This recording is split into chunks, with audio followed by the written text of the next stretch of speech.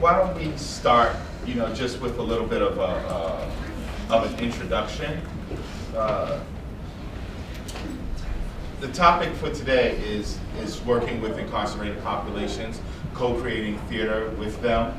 Uh, I'll read the, the uh, description. This session gives, gives uh, us guys uh, an opportunity to share collective experiences and also open it up for some of you guys that may have uh, some of the same experiences to share with the room. Uh, we'll explore and discuss the effects of the program has on the populations in prisons. Uh, it'll promote, a, we want to just have a collaborative learning experience here. So if anyone at any point wants to share out some of the stuff that they've done, that would be great. My name is Freedome Bradley Ballentine. I'm from the Old Globe Theater. I'm the Director of Arts Engagement, and I'd like to just introduce this man. Can you tell us your name? Uh, yeah. Where you from? Yeah, I'm Johnny Stallings. I live in Portland. Uh, I have a nonprofit organization called Open Hearts, Open Minds. We have programs in three prisons in Oregon. I've directed six uh, Shakespeare plays uh, at Two Rivers Correctional and one of my star actors is to my left, Alan Mills. Uh, he introduced me. I'm Alan Mills. uh, and I, I think I performed in five of those plays um, before being transferred out. And, uh, and here I sit on before all of you. So. He played uh, Puck in Midsummer Night's Dream and Feste in Twelfth mm -hmm. Night. And uh, uh, in, in our first production, which was Hamlet, we had four Hamlets. He was one of our Hamlets, and he also played Laertes. Mara? Morning, I'm Mara Sidmore. I'm with Actors' Shakespeare Project in Boston, and I'm the Director of Education Programs, Projects, and Partnerships, and we work with the juvenile justice system in the state of Massachusetts, and we work all across the state, mostly on the east side, but all across the state with youth who are incarcerated. I'm Scott Jackson. I'm the Executive Director of Shakespeare at Notre Dame, and I've had a program going at Westville Correctional Center, which is Indiana's largest state prison, uh, for about four years now. Uh, and we're also the, the home of the Shakespeare Prisons Network, and with this guy here, uh, we, we, staged the first two Shakespeare Prisons conferences in November 2013 and January 2016. Looking forward to the third, which we'll talk about. I'm Curt Tofteland. I'm the founder of Shakespeare Behind Bars. I've been working in the correction system for 22 years. Uh, we have programs in Kentucky uh, and also programs in Michigan. Great. I, would like to take this time to ask a question out here to the to the audience. Uh, how have you all uh, how have you all been working with uh, incarcerated populations? How did it become a priority in your organization or practice, or if it isn't a priority within your organization and practice, what's preventing it from being a priority? And if you guys could just partner up, preferably if you if you're in the same organization, you can split up uh, and not talk to each other. Uh, just talk. To, could you discuss that among yourselves for a quick second?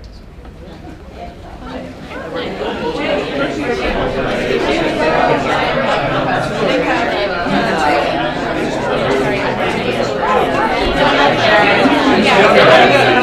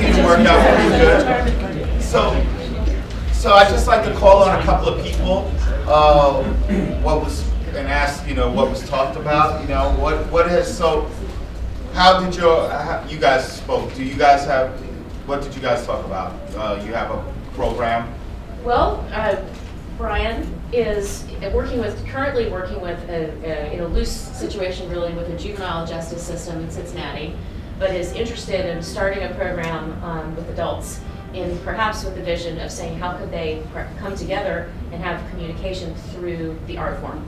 So he's interested in the business model and is it sustainable and does it work and how do you fund it, just to know if it's something that, I don't want to get into, did I get that right? Yeah, that's great. Okay, good. How about, how about you guys? What, what, is it a priority within your organization, or are you guys trying to find a way to make it happen?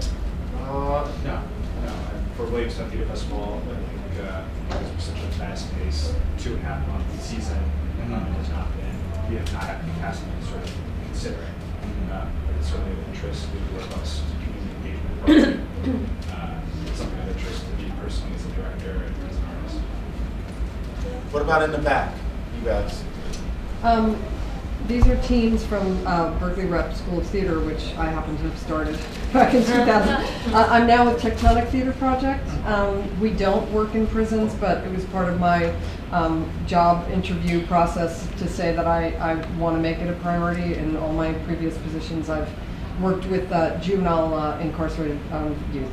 Uh, but I, I do playwriting programs, so I, I go in and I teach um, playwriting residencies and then bring in professional actors to uh, do readings for the, the prison population. What about, what about in the back over here?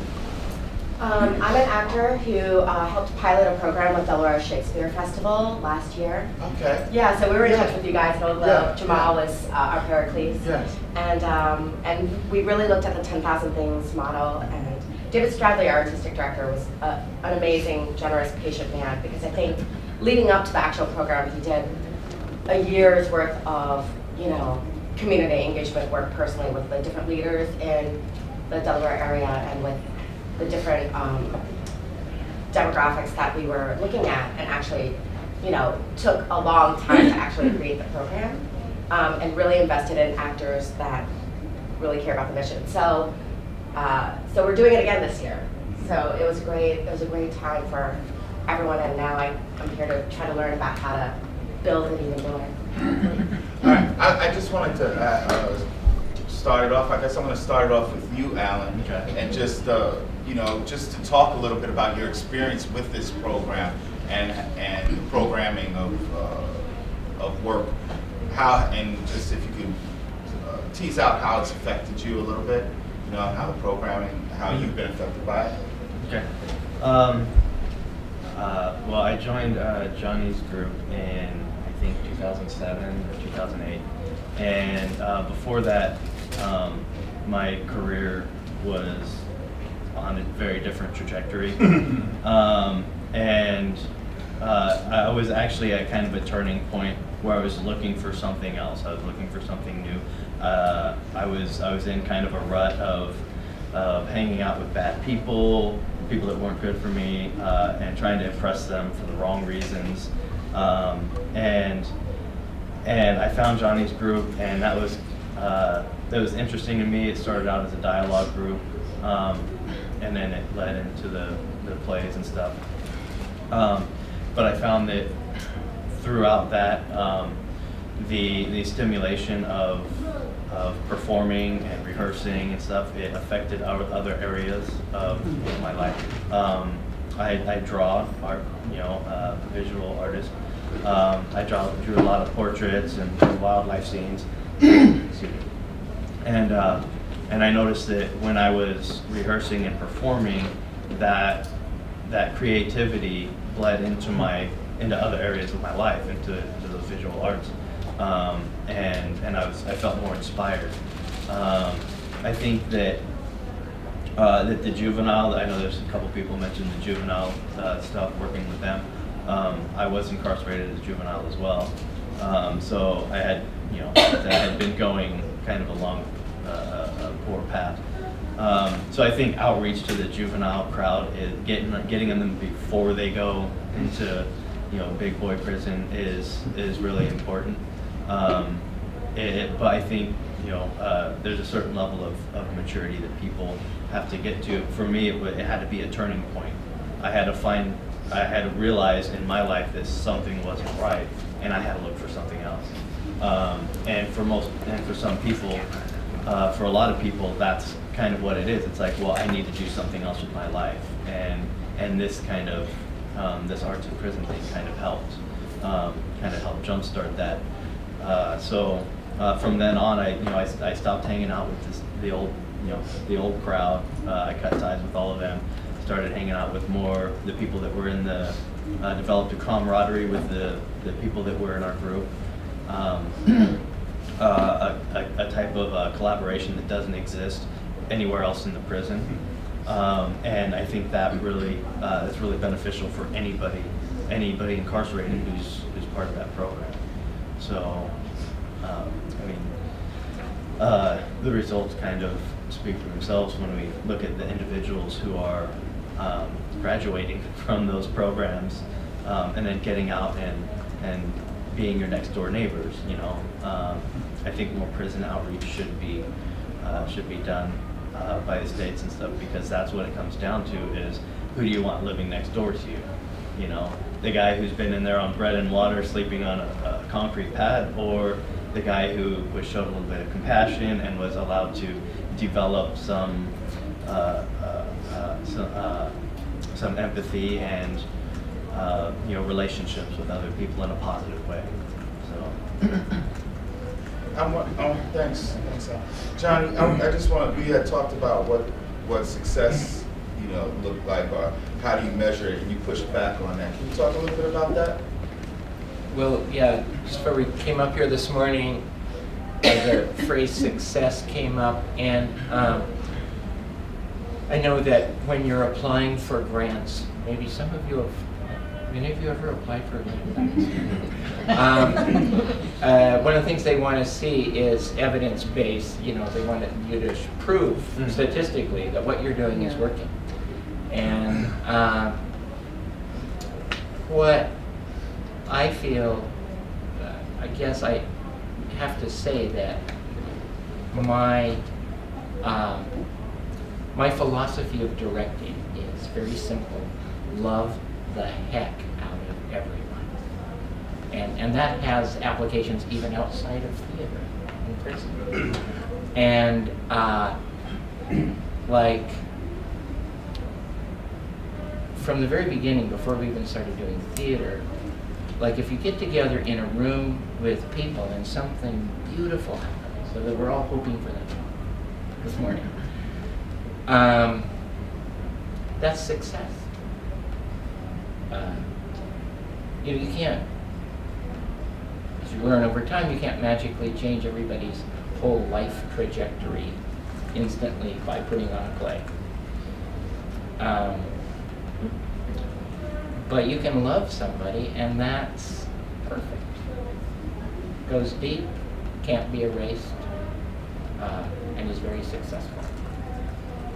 Mark, can you talk a little bit about what you've been doing, uh, what's been done so far? Sure. So we partner with the Department of Youth Services. It's different, I think, the juvenile justice system work is very different from work with adult prisons, and I've noticed this at um, various conferences. It's, the work tends to be uh, harder because the population is changing so quickly. So as an adult, when you're committed, you're typically given a sentence and you serve that sentence for a length of time in one location. For young people, they are um, first of all assessed. So they, they go to um, a detaining center, and then they go to an assessment center, and then they go to um, their the place that they're going to actually serve their sentence. And there are things happening from day to literally day to day. So as teaching artists, we have to be extremely flexible and have no attachment to outcome whatsoever. Because we may start with a group of 10 young people in a facility, and the very next day we might have two, and the very next day we might have five. And we have to really attest our um, our our skill to, to to be really in the moment and able to see what the room needs at any moment in any given time. I think that we're fortunate in terms of business model because this wasn't always the case, but we've been doing this work long enough for about a decade now. Um, but originally, we just literally knocked on a door and said, "Hey, we want to work inside. Can we?" And talk to um, staff and teachers who were in um, facilities teaching, because young people go to school while they're in prison, of course. So um, that was sort of a like, can we come in? And people were generally like, sure, you know, and and most of the time. And so we we um, began working inside without any restrictions. The lovely thing is that now the Department of Youth Services works with a subcontractor that's an education company called the Commonwealth Corporation in Massachusetts.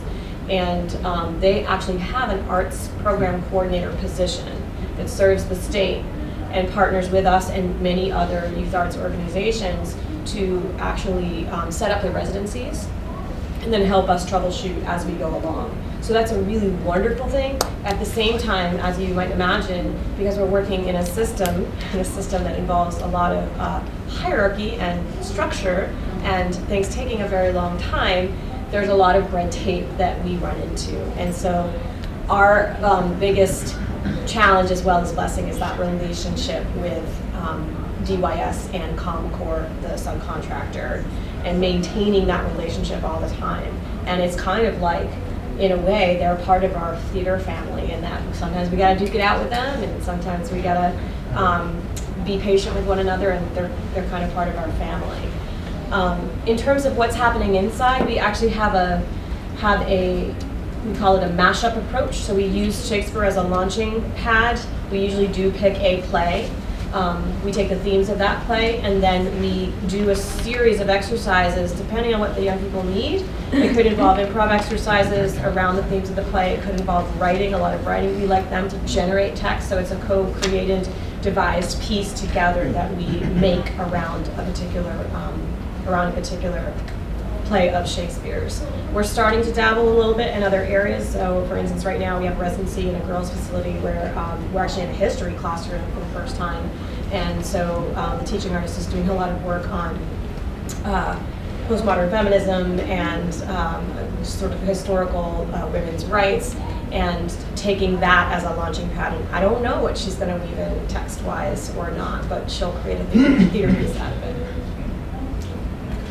have you thought about doing that? Uh, that sounds really interesting. Has, has, has that, have you thought about doing that with among men, male populations? Because so many women that are in, that are incarcerated have been victims of domestic violence. Have you thought about doing any kind of, you know, feminism class for the male juveniles? Yeah, that's a really great question. I don't know what their curriculum is um, currently. We're somewhat dependent on the, the teaching staff themselves um, and what the relationship is there because they do dictate the curriculum as does in some ways the, the, the state.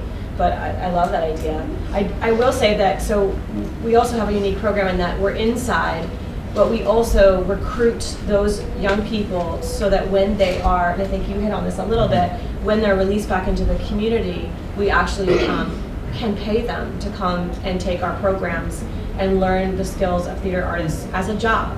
So we're hiring them to come and work for us. And they do our programs alongside um, all the other young people that we recruit from the city of Boston and, and, and the surrounds.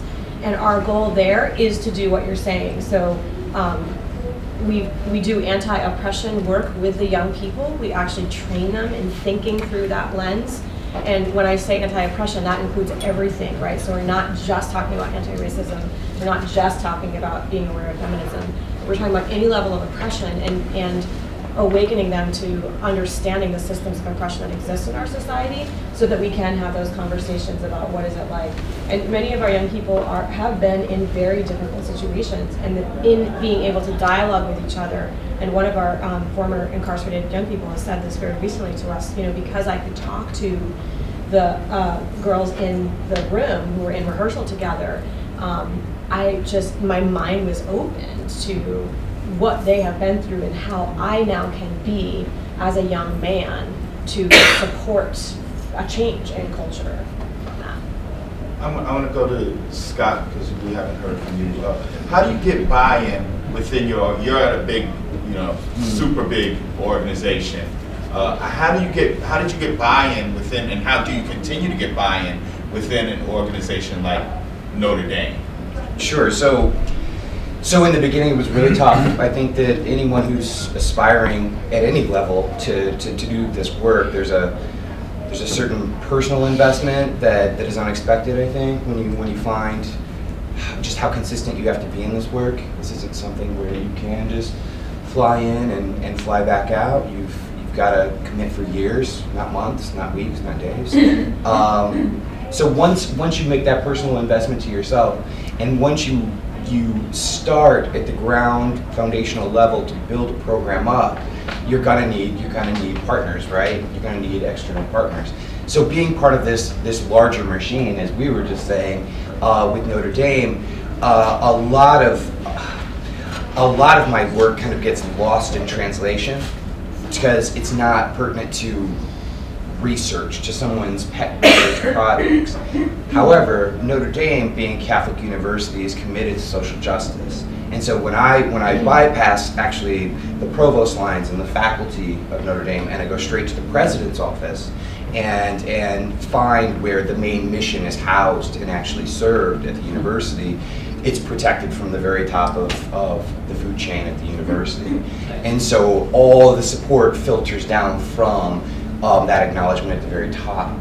Uh, and and then from that, you know, I make sure that I'm holding true. I'm not, and I'm not a Catholic, but but I, the dogma of, of Catholic social tradi- tradition and teaching and serving the common good and starting with the least of us first. And these things all translate perfectly to, to the work that, that that I'm performing. And so from that, for four years now, what was kind of a, a we're live streaming, aren't we? Uh, it was kind of a contentious pro uh, project with, with certain people who are in authority um, for me has become something that, that those people are actually, it's their, their case example, the, the, the example of, of, of Notre Dame's mission and action to the performing arts. So seeing a, a total reversal of that. Um, it's a unique situation because I am part of a larger institution, um, but I think that the lessons learned can be applied to, to any theater organization as well. Once, once folks are exposed to the work, once folks directly engage with the work, because like if you come to my program, um, and I think Curt feels the same way, you're participating in the program. The observation is kind of not, that, that's not part of this gig. You have to come in with an authentic sense of self and there's something that happens in that sharing that, that people walk away and they're going to be your advocates for life after they experience that. Well, Curt, Uh, what's getting results? What's working for you out there? Human beings need a tribe. Unless mental illness is a part of the situation, you're the Unabomber living in the mountains of Montana. So you have to factor in that. By and large, human beings need a tribe. So I play on that because I'm creating a tribe. Uh, human beings, in order to change, to transform, which I apply to all human beings, not just incarcerated human beings, and I apply it uniquely to myself because I'm not there to fix anybody. I'm there to fix me. I don't have any advice. So the moment that someone presents a situation and someone says, "Well, I can solve that problem," no, you can't. You're going to give them advice. No advice here, please, because we're here to fix us. So reflection is essential. You have to understand where you came from. You have to understand all the circumstances around where you came from. You have to be able to really dig into that, and in particular cases with incarcerated population, there's so much trauma that's involved in that. But you cannot fix the trauma in yourself until you have language to speak to it. It's the only way it heals. Give it, medication doesn't work. Just therapy doesn't work. You got to give them the capacity to go back and look at the horrors from whence they came. To be able to understand that they're simply a mirror of where they came. From. So they're totally innocent. They are just reflecting where they came from. Authentically. They're doing it authentically.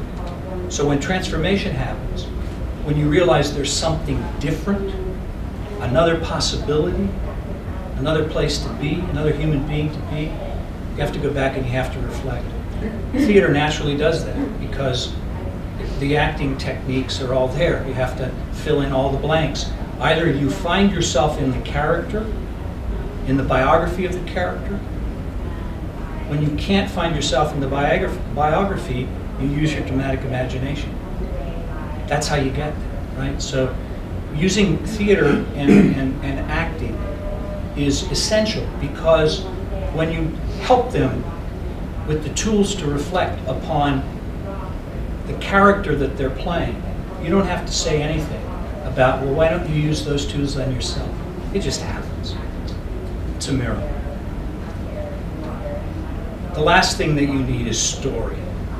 We are narrative creatures. It goes back to the trauma. Until you can speak your language to your trauma in order to share your story,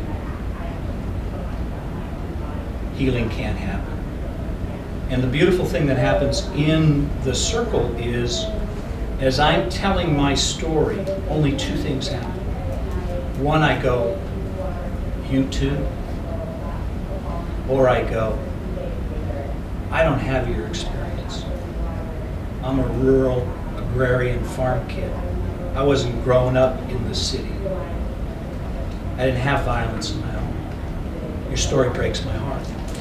We have empathy.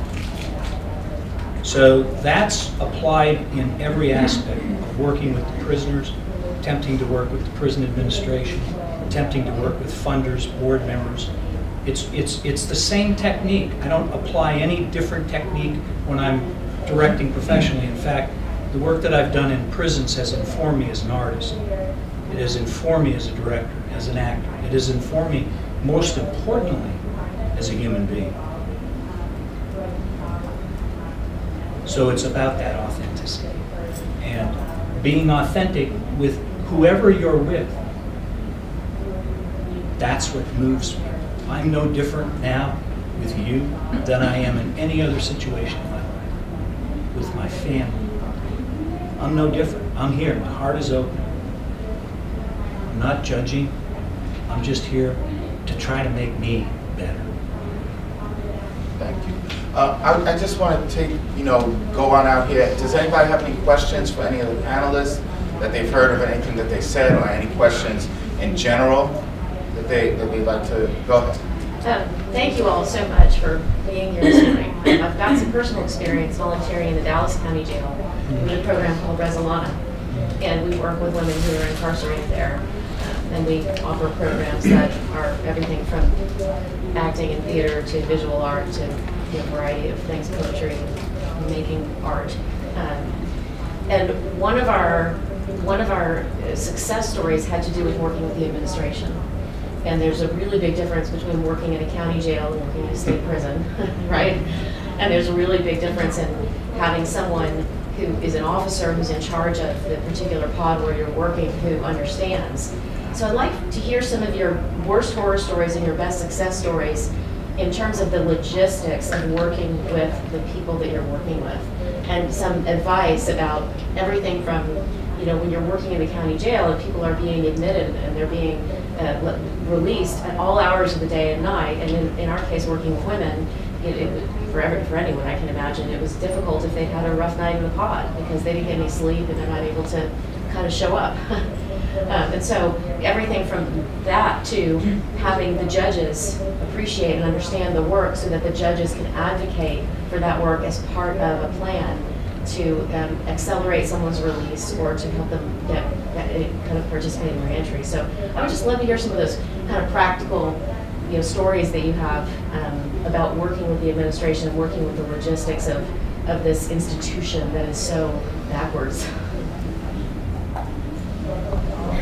Hey, Bob. Uh, Yeah, I mean, I've, I've had good and bad, definitely. Um, I think that working with prison administration is about 55% of the gig, it, it feels like, because it's so inconsistent. It feels like the classes and everything else, the offerings are, are the most consistent. Um, I remember in particular, so uh, one of the groups that's part of Shakespeare at Notre Dame is called Actors from the London Stage, and it's a five-person British troupe that, that generally tours to uh, universities all over the country. Yeah. Law University, Nice. down right below you. Oh, nice, nice. Um, and uh, so I, I've started a template where they, they premiere each show at my prison, at Westville Correctional Center. And I have buy-in at the very top with the warden, with the superintendent of the prison, but it comes down a lot of times to the shift captain.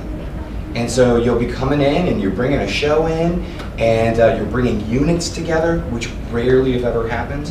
And then suddenly there's no count letter. What are you talking about? What count letter?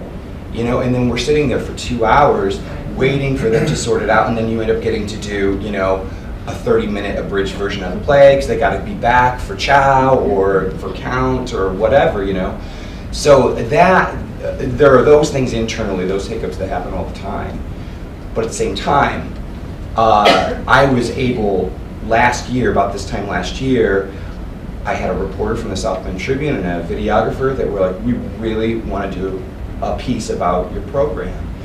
I, and I, I told them, I'm like, if you're coming, you're in the class. You know, I don't want you just sitting off to the side taking notes or whatever. So they came to my class for like three months and then wrote this beautiful, beautiful piece with, with a, like a seven minute video. Um, like months later, it took them about three months to put all this stuff together. That came out and the doors that opened to me at that prison just because I'd gotten in good press. And uh, there just been a, a, a huge expose about the, the private healthcare provider at the prison and people that were dying, you know, people that were, um, you know, almost dying from an abscessed tooth because they weren't getting the right healthcare. And then suddenly here's this story that, that completely changed um, uh, the, the community's perception about what the, the prison was doing. And that really, I, I I have no problem. I just walk in and out now and people, and so all the, the administrative side, they, they celebrate the fact that I'm there because I come in with an authentic heart, you know, no agenda. I understand that if anything has to shift in a day, it's going to be me. And I just get up against the wall and say, you know, go do what you got to do. Um, and that adaptability, I think, buys me a lot of goodwill within the, the program. I have a quick question for Alan. In the five years or so that you were involved in our program, uh, did you notice any change in the overall culture of the prison with the other inmates, with the officers? Um, I, I think more with, uh, uh, because of, because my social group altered, so I noticed that more.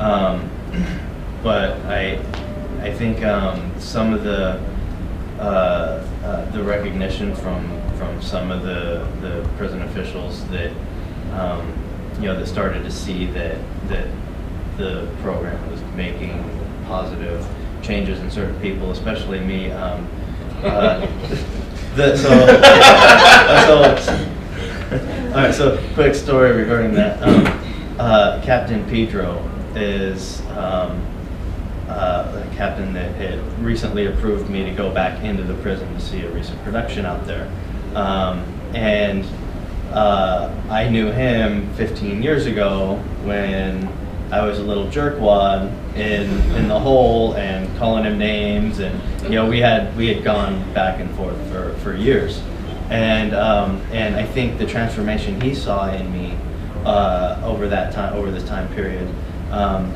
kind of altered his perception of me, and some other people that um, that I know were um, also had uh, were also going down a, a, a poor path. Um, they got involved in this program, and then they kind of started shifting their life around.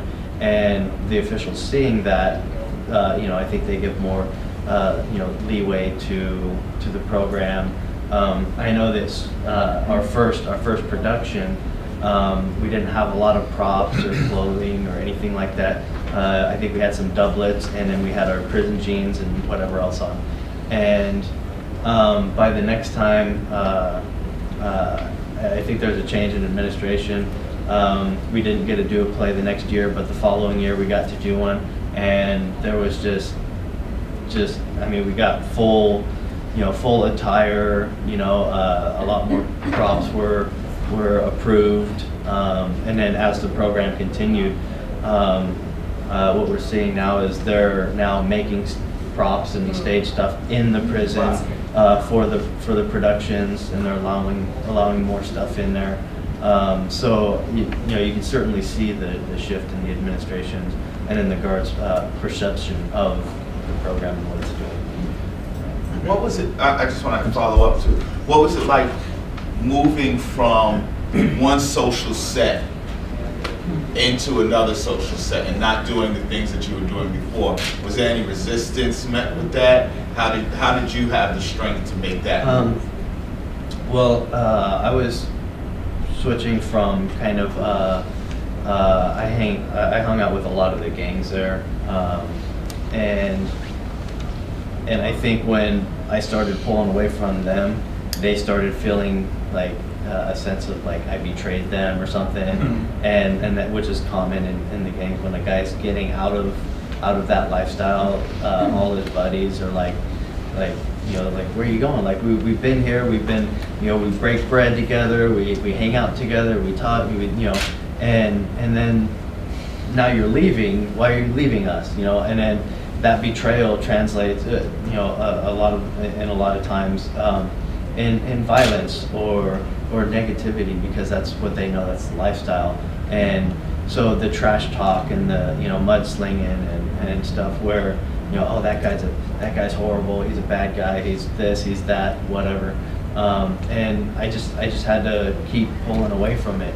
Um, and it was it was difficult because uh, it sometimes brought violence to me from that uh, from that quarter, and uh, but I, I knew I, I still knew I had to had to trudge on and get away from that because that's all I was ever going to see if not.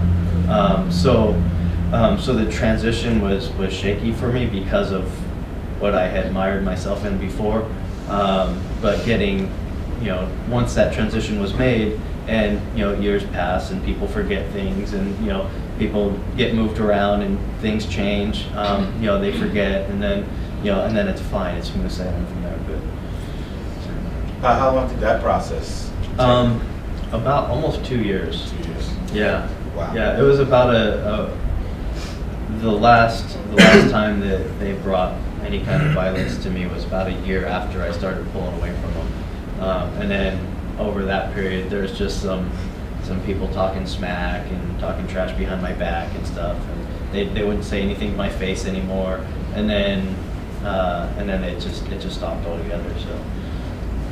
Yes. Well, I'm actually responding to something you said a little bit earlier before that question that was in here. And it was about how the prison, and it's for everyone as well, So I just finished doing a show in the Indiana Women's Prison um, that was written by two incarcerated women. Um, and now it's actually starting, going to move to the outside as well. So it's on the inside and it's produced way outside. But we um, found that at the same time that the administration at times um, were happy about what was happening and how the changes were being made, there were people in the prison who weren't necessarily happy about guards, who, in fact, one of the women who wrote one of the pieces, while we were in rehearsal, found herself in solitary for about three weeks. The empowering that doing this is giving some of the women who are participating in it empowers them maybe to be a little bit more vocal or a little bit different than they've been. And in fact, there was some backlash related to because and I'm wondering if anybody else has experienced that and how to navigate that. Um, so know, I don't get them in trouble is actually right. Well, I don't know, the whole idea, idea of doing Shakespeare plays in prison is really, I mean, Midsummer Night's Dream, you know, that's not really prison culture. That's not for the inmates, for the guards, for the administration. It's not, it's way outside of their idea of what the place that they are. So, so naturally, a lot of people are going to have difficulty uh, with this thing that is so un-prison-like. Uh, but everybody has inside them something that wants more love. is that word again? Uh, the, the officers, the, the in, all the all the people who are serving time, all those guys who are left back behind in the gang, they're waiting for their come along or somewhere. I think that, um, uh, I, I know exactly what you're saying. I don't think it's a bad thing she spent three weeks in solitary. I don't think that's a bad thing. It's a sling and an arrow that we all must bear. And her ability then to reflect on why she spent three weeks in solitary is where her learning curve comes, right? It's always about um, cautioning, where are you? The question is always, where are you? And who are you with? And so confrontations happen all the time. Uh, she needs to figure out what it is that she did. And it may have been an injustice that was perpetrated upon her. It happens all the time. Injustice happens all the time. Horrible things have happened. I, I, don't, I don't get upset about them because they're moments that happen and it's understanding how it happened that keeps you away from the moment reoccurring. And that's life. That's life. So the, the sling and arrow that they have to deal with in prison is just a preparation for the big, bigger sling and arrow that they're going to hit when they hit the street. it just gets big. So the reality is, is uh, again, I'm there to fix me. I'm working on me. And that's how the circle functions. So she's working on her. You didn't get her into trouble. You don't have that responsibility. That's not you. But you learned something from that, and now you question, was I responsible? How do I play into this? So that's your story. And you're moving along and gathering more experience and becoming a bigger human being, which makes you a better facilitator, which makes you a better artist. Mara, you were gonna, you were gonna add something to that. Oh, just that, um, I think it's kind of what Johnny was saying about having love for, for everyone, right? So the, the staff, we sometimes initially have a reaction of like, can't they just give us the space to do our work? Can't they just participate? We want them to be in the circle with us, you know? And there's a lot of resistance to that because of their own stuff that they're working on, and their jobs are hard. So um, for me, it's about finding empathy for them and where they're at as well, and um, reminding myself that it's not it's not something that I may be able to fix, but the invitation is there for them to be seen as well. And we found that if we actually check in with them and give them permission to to um, share with us what they're seeing and learning about the young people, then they feel like, oh, I'm being seen and heard too, right? If we come in with our frustration front and center with the restrictions that get thrown at us and the behaviors that sometimes come out of nowhere that we don't anticipate, you know, from the staff or the administration. We have no idea about the layers of things that are happening when we're not there. We're there for a short amount of time. Um, and it's so complex. It's so complex. So for me, that um, level of compassion, I have to check myself over and over and over and just say, nope, it's the compassion for this whole community. That's my concentration too, is on the ensemble. And there are individual obligations to the ensemble.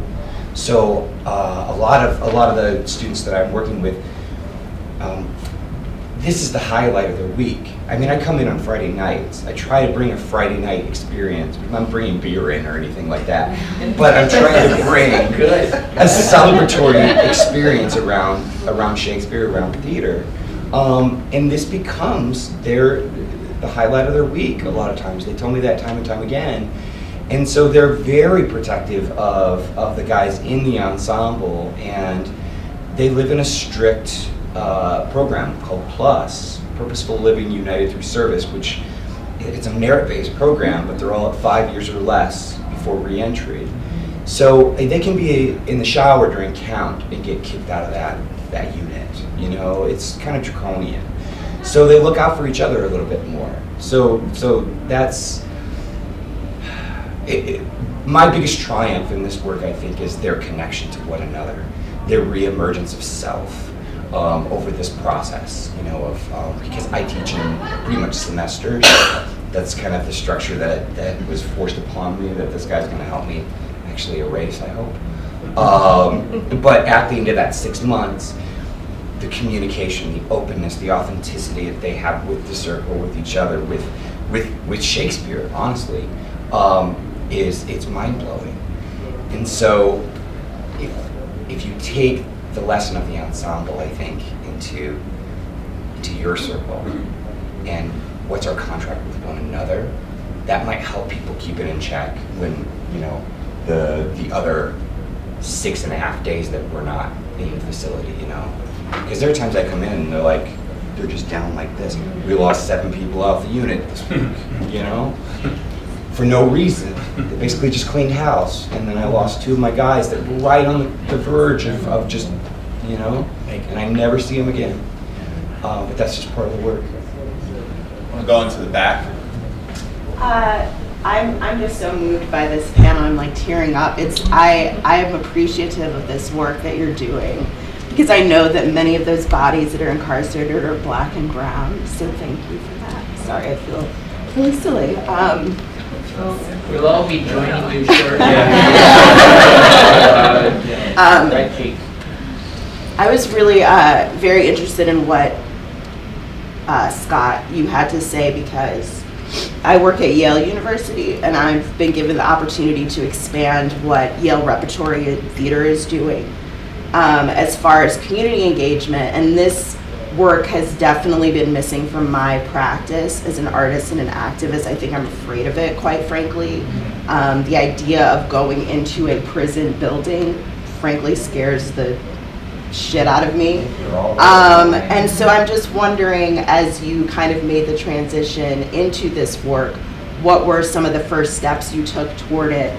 What were some of the fears you had? Were there any misconceptions you had about it that were kind of, you know, shattered um, as you started to really get into the work?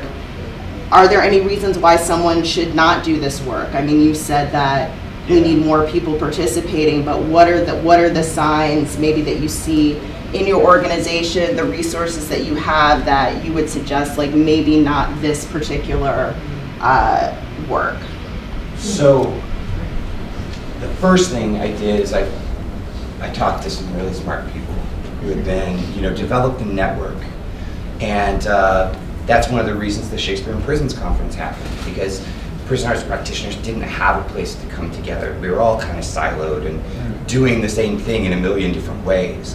So that's the first step. Come join that circle. Um, and then for me, eh, there was a there's a there was a certain commitment, there was a certain calling within that that, that I knew um, that if I was going to be part of this solution, I was going way outside my comfort zone. This was my own special gift that I could give to the world. And it was scary as hell. It really was. And I started by, first off, finding, my, finding a network, finding those who could help me put puzzle pieces together in the beginning. And then from that, starting to bring performances and, and ad hoc workshops as and where they were available with some of the, the companies that I manage, and making this a priority. Then going back to my school and saying, this is what we did with these resources. Was this a bad thing? And people like couldn't say no. And then I started to develop my own program week by week by week. But it was getting to know the apparatus of that correctional facility. Um, because if I had just said like, I here's the other thing, like, there's so much religion going on in my facility, and it's not, it's not good religion. It's, it's fundamentalist rubbing people's noses in it. And I come in and I'm just like, no, the changes in you. You know, let's, I'm not gonna bring God into this equation. Um, so I found my own unique way to, to, to present my works that would empower the guys and not make them feel like they're judged and victimized uh, as they constantly were. Um, and then I just constantly refine. You know, I step back after every class and I'm like, what did I do right? What did I do wrong? So that self-reflection is really essential part of this. And am I okay? Am I not okay? And I see people that go in and start programs that they get too close. And that's dangerous. There has to be a professional boundary. You can love these guys, there's compassion for these girls, these women, uh, but you have to find a place that keeps the program safe. I think the, the, uh, uh, there are as many models of this work as there are individuals doing this work. The reason that we created the Shakespeare Prison Network is to be a resource to each other, but I, I think more important, it is to do conferences like this to say, uh, we're here to help. Uh, because the work is so big, it's endless, there's a place for everybody. And, and that's, if you're called to do this work, I feel, I can feel your heart. Yeah. Amen. And there are those that have gone before you who will give you anything you want and everything. The generosity is enormous. And you will find your way in. And when you find your way in, you will then be doing the authentic work that you are called to do and who you are and how you want to do that. There is no one way to do it. But there are a lot of people that have a lot of experience with dealing with corrections. Problems I've had in 22 years have never been with the prisoners. They've always been with the administration, always. So if you don't take the administration into account, if you're not dealing with the administration on a daily basis, in the same way that you're working with those prisoners, you're gonna get, you're gone. And there's always a way to find your, I just, I'm an eternal optimist. Endless optimist. My guys get so angry, and the women, the Jewies think I'm pretty cool about that. So we're here. That's why, that's why we did this panel. This panel is to come and say, for the, tw- there's got to be 25 people here at TCG that want to know about this work and who are also doing this work. And that's how we teach each other. That's what we're about, is to say there's a resource. If you're called, we can help. And I- 1-800. I just want to say a quick thing about about demystifying too, because um, I feel like society has put a label on prison and in removing those bodies from our society and putting them in a place that's locked, right? And I, I hear you on the fear part of it, and I think any human being has that because we've been conditioned to have that. And at the same time, we're talking about human beings. These are human beings. And we all, every one of us, have to make choices every day that are good or bad or neutral or whatever, right? And so I think in the end, for me, it's around um, demystifying and thinking that it is a, a, a place, it's certainly special work. I don't mean to say that what we do is not ultra important, but we're, we're working with human beings. And I think that's where the Heart Center needs to remain. Um, I may have been lucky because my dad was a, um, was a prison chaplain, so I had a little bit of insight ahead of time. Um, but yeah, just just that human to human thing that I think that Curt is eloquently, as usual, talking about is what's I want to say something quick to that also, if I could. Um, like, I didn't know when I, be- before I began, like, what I was getting in for. And the big surprise is, I keep saying this word, I'm sorry, apologies, is love. And like, bam, you know, I go to prison and I don't, I'm, that, I'm- that's the least afraid I am in that week is, is when I'm in there, you know. And, and uh, Alan and I, a week ago today, were uh, at Two Rivers watching The Tempest together. And after the play's over, the room just explodes with laughter and uh, tears and hugs and love. So much love, it knocks you down. It's so beautiful. And I didn't know that that would happen, but I thought, let's put on a play. And uh, and I don't know if that would be other people's experience or what the, like Curt's saying, all the programs are different. I don't know what other people will find. But uh, one thing that, that you might find is, is, is some, is, is like some giant love blast that you didn't know was coming. And to, sorry, to speak to that point, um, when, uh, I I think it's important also to remember uh, for anyone uh, thinking about volunteering or going into a prison uh, that has some of those fears is uh, to remember that you're bringing um, uh, acceptance and compassion into a place where it's completely void of that. And when you bring that in, you'll get it back a hundredfold. That's, do you still have a question? I saw your hand up. Me? Yes. Well, I was um, touched by what this woman from DePaul said about the transforma, the, the power um, of this work to transform um, people inwardly. And I mean, that's what you were speaking to. That's why that woman found herself in isolation for three weeks.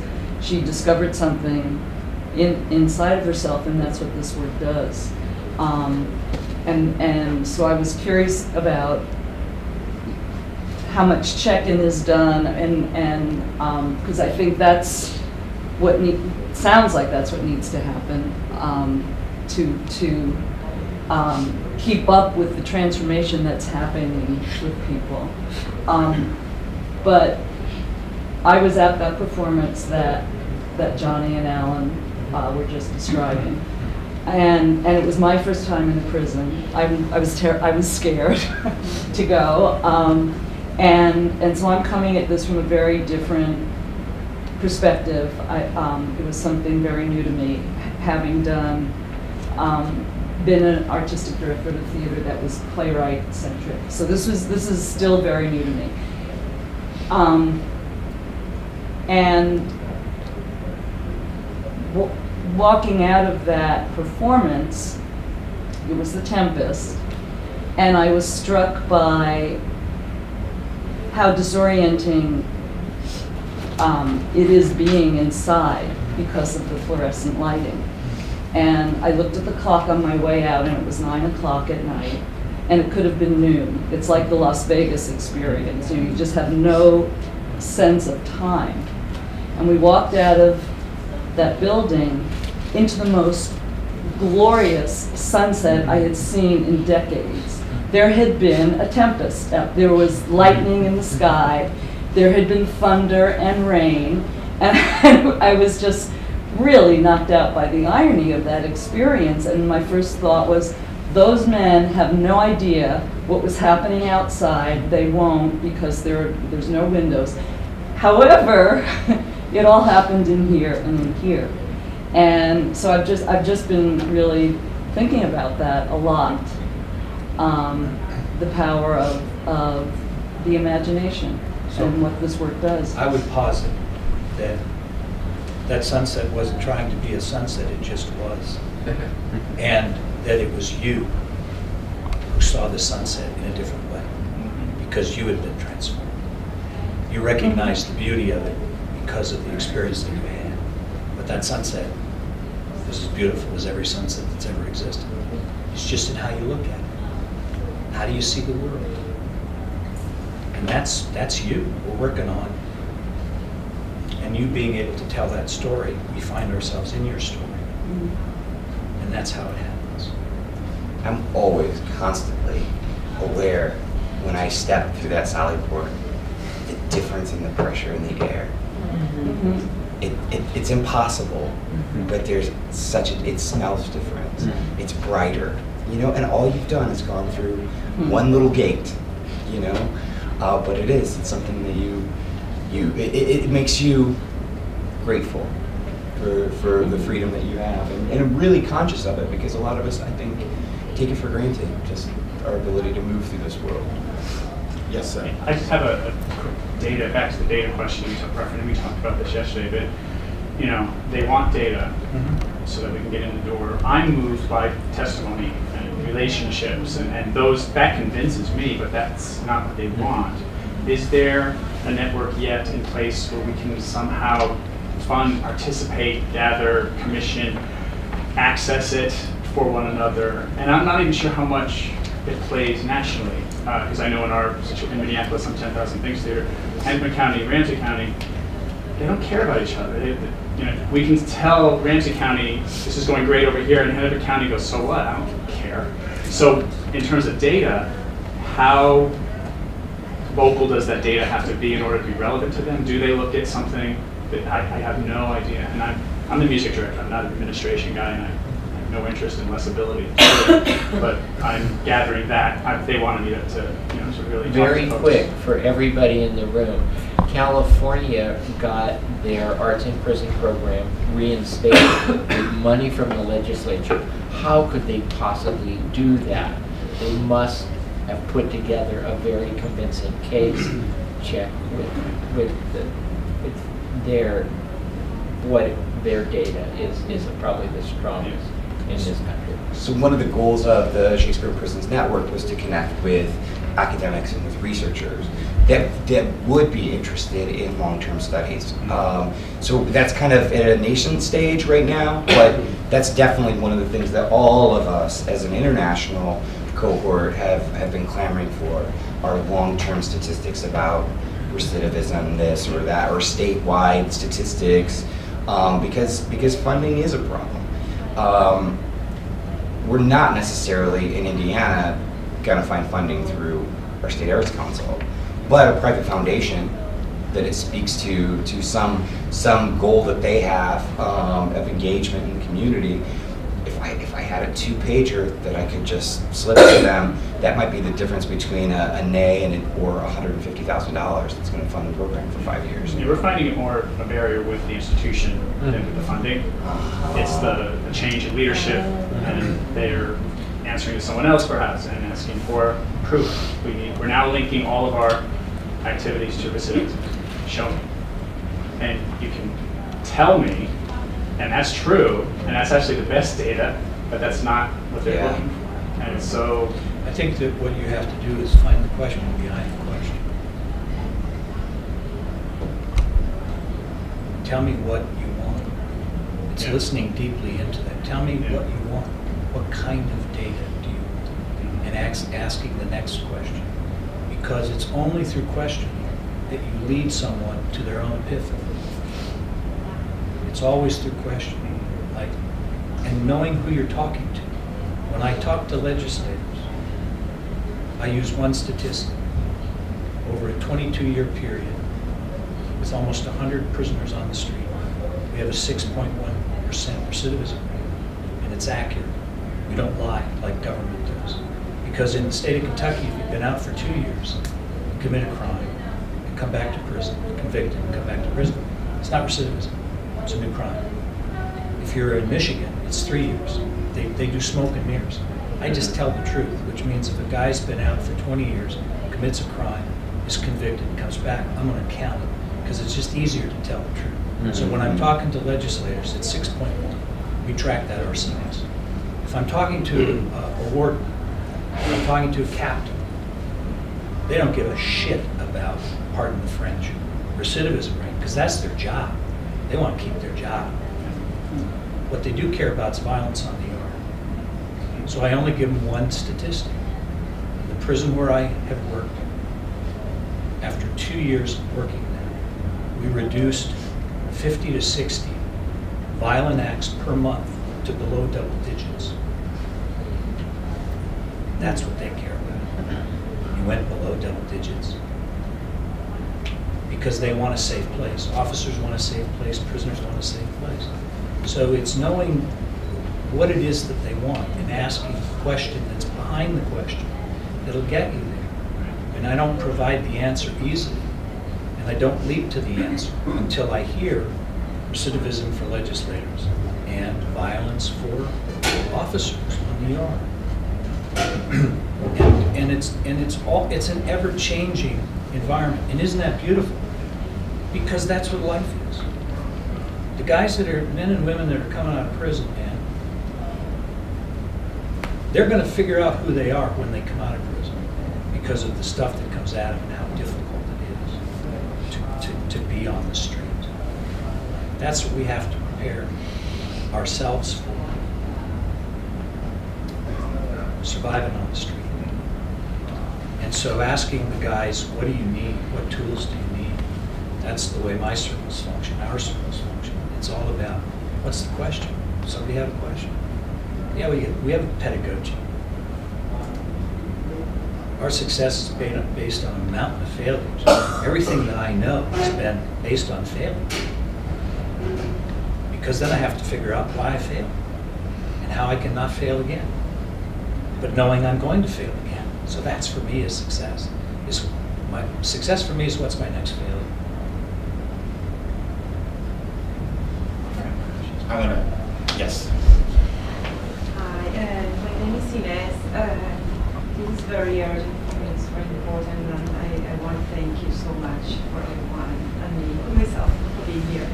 Um, I'm going to start, I'm a theater director, I'm going to start uh, volunteering in Rikers City, July, and I'm very excited and anxious about it for many reasons, and especially from what you say, Mara, and everyone said.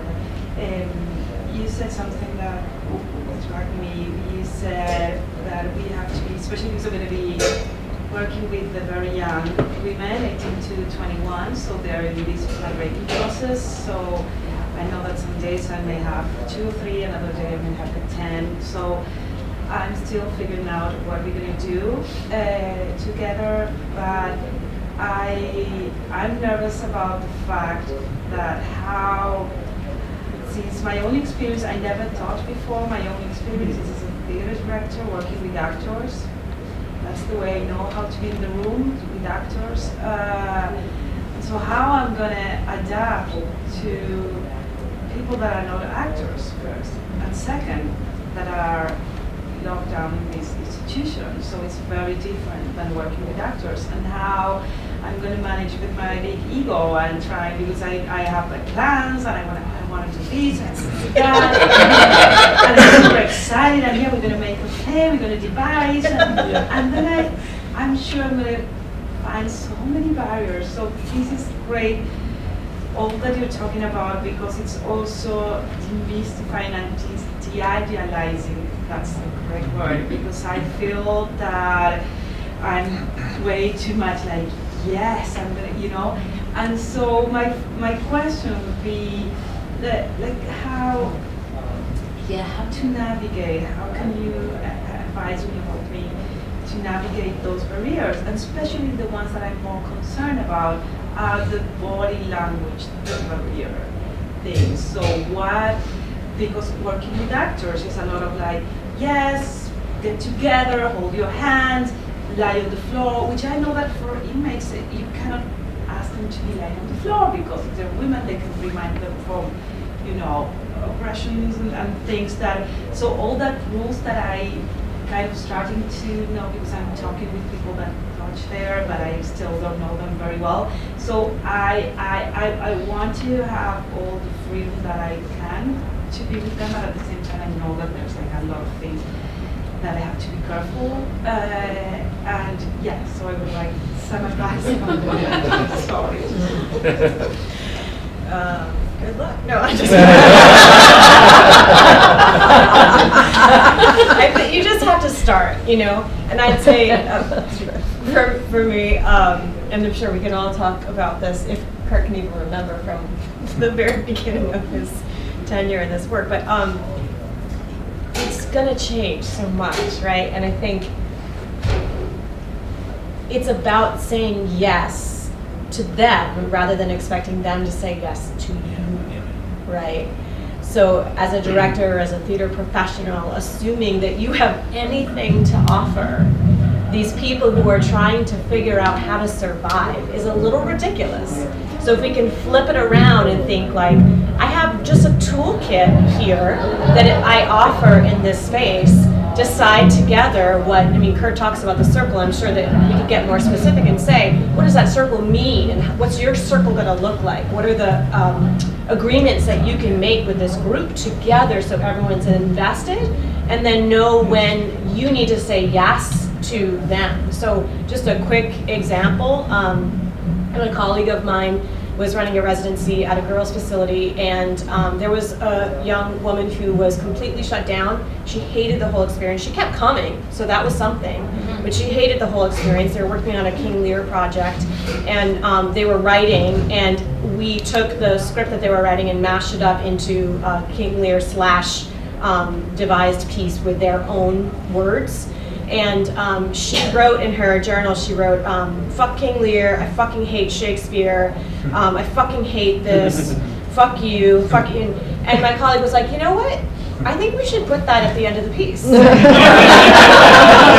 do you think about that? And she was like, what? You know, like totally taken off guard because someone had taken what she um, was trying to do, do to really just express herself, I think. Um, but in, in, in that setting, in other, um, in another context, would have been disciplined. And we were like, yeah, right on. I get you. I hear you. Like, let's, let's use that, right? And so it was so amazing sitting in the audience and watching their performance, which was super strong and super incredible. And then at the end, to have um, she didn't read read her her own writing, someone else wrote it, read it for her, but to like with full conviction stand up at the end and say. Fuck this. I fucking hate King Lear. Fuck Shakespeare. It was incredible. It was like the room was just it, we were crying, we were laughing. I mean, it was it was amazing. And so I think to me that is the that is it right there. Is like how do I say yes um, and recognize that resistance just wants to be heard in the same way that everything else does. To do, uh, to, to maybe assist the journey, um, ask not what you can do for the circle. Ask what the circle can do for you. You are totally prepared. You've got an arsenal of stuff. So you wait until it's called upon. You just go in as a human being with an open heart and offer non-judgment and unconditional love, like Johnny says. And that's how it all begins. Because that's all we want. So I'm not there to teach them anything. I'm there to listen. I'm there to say to myself, what can this circle teach me? And every circle is different. So you, you're, you're ready. You just go in and be a human being and find that right moment for that spark. An idea will come. But the number one thing is to be a human being, and they'll flock to you like moths. That's what they want. Mm-hmm.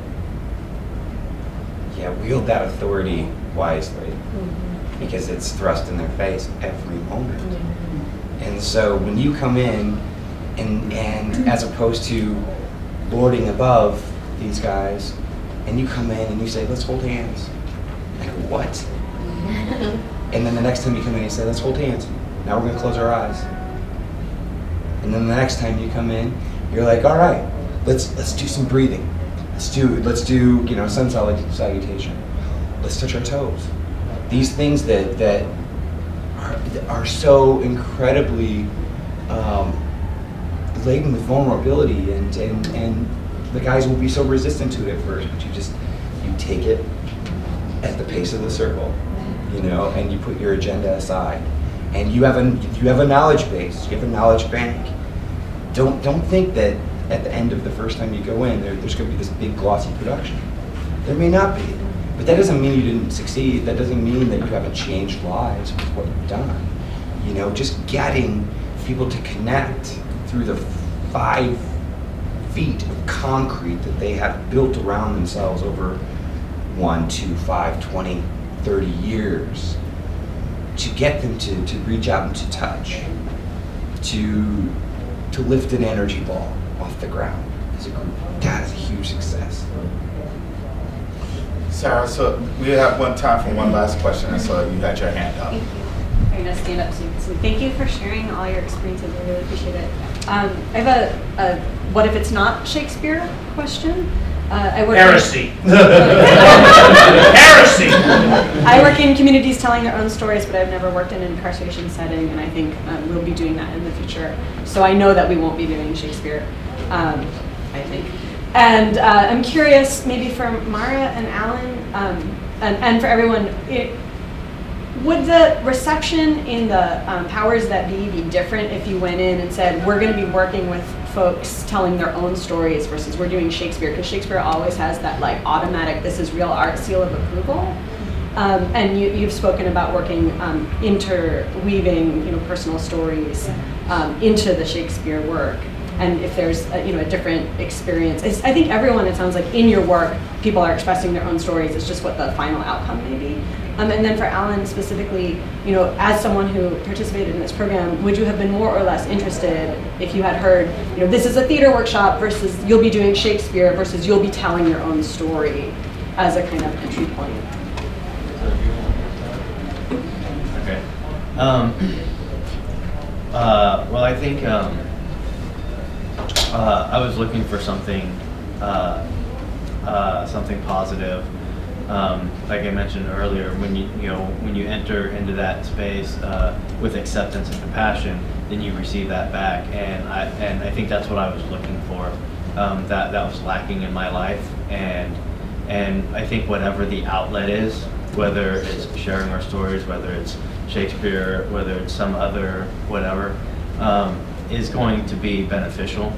So uh, whatever the platform is, I think just just approaching it with that with that acceptance and compassion and, and, and letting them into that um, will, will be successful no matter what.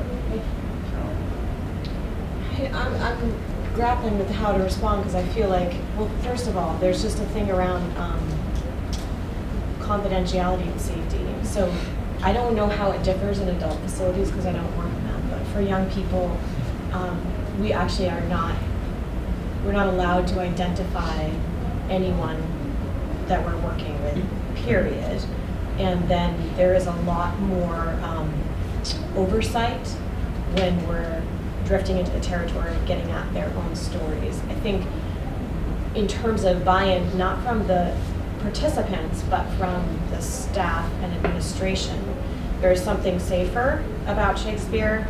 Um, although I think that can apply to any text at all. And we haven't just done Shakespeare. We did um, one time Jesus Hopped the A Train. We, we used text from that, scenes from that. Um, as I mentioned, we're exploring uh, more historical stuff. So I think the text can be generated. For me, it's just being really clear with those that you're working with where the levels of safety are. So both on the participant level and then on the administrative level. Um, some people want to share their stories, and some people just don't. And I think I wouldn't want to be in a situation where I'm forcing anything. One thing that we do is we have them write, but then we also give them permission to determine what to share. So we go through a process where they're helping us cull, and they tell each other. They say that needs to be in our script, right? Um, you need to make sure that that's in our script, and then we give them the, the choice of whether or not they want to read their own story or not. Yeah. We never tell the audience what is who and who is what, so they are hearing snippets, but um, not their own. So I think you have to first of all figure out like what are the rules in the particular um, facility or the population that you're working with, and then it, I think it matters where the story is told. Um, we did one time have a young person who was working with us in community in our out of school programs. We were doing um, a mashup on love in general and using different Shakespeare plays as a platform. And um, one of the prompts that we were asking was, what, what would you do for love? And her crime was, um, sorry, um, her crime was that she had actually uh, killed someone out of love. It was a kind of passion. Um, and she decided to tell that story, and she wrote the story, and we, um, she decided she didn't want to be in it. But her younger cousin was in the program with her at the time, and this um, of school program with her, and her cousin played her. Um, and there was something for her that was, I think, given the platform of love, that um, allowed her to take that step. And we talked about it for a long time, the staff, like, is this okay? You know, we had to check with DYS, like, is this okay that we're doing this and keep them very much in the loop? Um, and it ended up being an incredible experience for everyone, and she was cool with it. But she had reached a point where she was ready to do that, and we were the container that could hold that for her.